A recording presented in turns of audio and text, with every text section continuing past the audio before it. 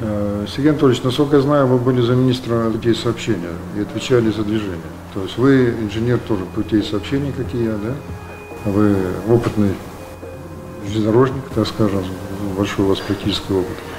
Вот приехали к нам посмотреть, что мы делаем. И вот ваше впечатление о струнной дороге, системе, о Skyway, вот как инженера и как вот железнодорожник.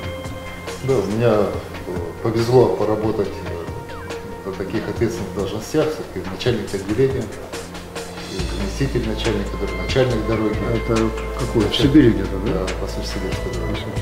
Потом Аксененко, будучи министром, мне доверил пост начальника департамента, а потом начальника департамента присоединил тоже заместителя министра. То есть возможности были заместителя министра и исполнительская функция – это начальник департамента перевозок.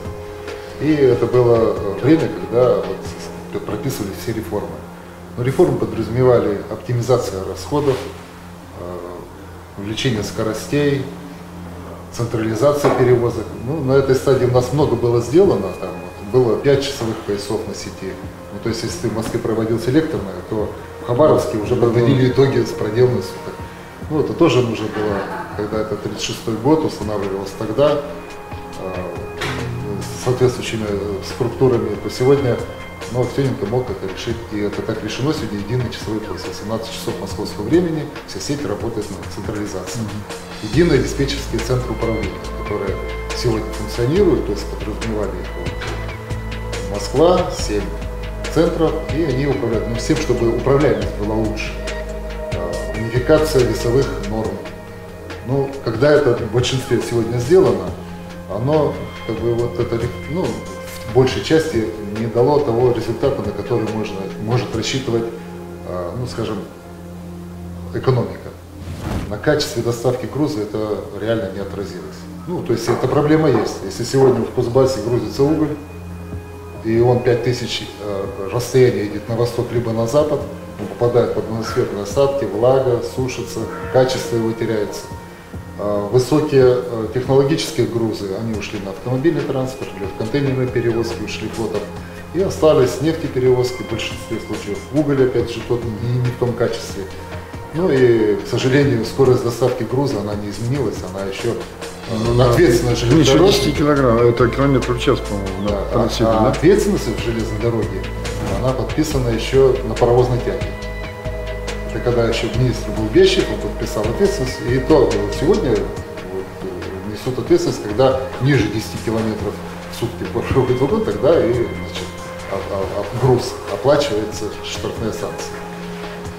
Потому что сегодня тоже вот, тарифы на железной дороге, они ну, трудно поддаются логике определенной, и, и все недовольны.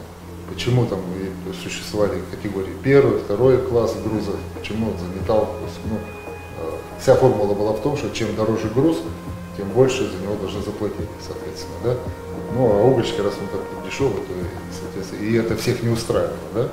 Хотя все понимали, что затраты одинаковые, что вести 70 тонн металла, что 70 тонн угля, расходы в транспорте одни и те же. И, соответственно, задавали вопросы, те и другие, да, допустим, как этот вопрос решить. Я думаю, что вот э, у вас этот вопрос не будет возникать реально, потому что на самом деле, вот и там задали вопрос, разницы в этом нет. Вот у вас на самом деле разницы нет, да, допустим, что вести, там, скажем, 10 тонн угля, что 10 тонн там, слябы, ну, что-то нужно перевозить. Что там и там будет дешевая, ну, низкая себестоимость перевозок, и поэтому не надо завышать цены на перевозку. Да, то есть будет, чтобы купить систему. Нагрузка будет, да, все, то 10 тонн есть, и все. И все будет одинаково стоить, и это не нужно никаких особых заморочек. Это хорошее решение, которое, я думаю, что может быть, я не знаю, те оппоненты, которые вас не поддерживают, они не, не, до глуби, не, до, не, не так глубоко знают эту а, да нет, там причина, причина в другом. Это конкуренты, причем они недобросовестные. Бедминтон конкуренцию не отменит. И то, что идея родилась вне там, Министерства транспорта, да, вне вот тех научных учреждений, которые занимаются транспортом и так далее. Я это создал как любитель, как энтузиаст. Да? Это уже это э, настраивает их против. Какой-то там самоучка, что такое придумал. Да это же наверняка он что-то плохое, он не мог что-то хорошее сделать. Да? Уже вот даже это заставляют так их вести себя, как они ведут. И э, поверят только тогда, когда мы сделаем сертифицируем и выйдем на рынок. Вот тогда поверят все, в том числе наши оппоненты. И бесполезно им что-то доказывать, надо доказать делом. Мы сроки вы видите, чтобы так? Значит, ну, мы вот э, сертифицируем уже городскую систему и грузовую осенью следующего года. А заказы уже сейчас получаем. Мы делаем предпроектные работы. А уже по проектно-изыскательской работы и строительству уже реальных объектов э, по реальным проектам э, мы вот начнем уже в следующем году.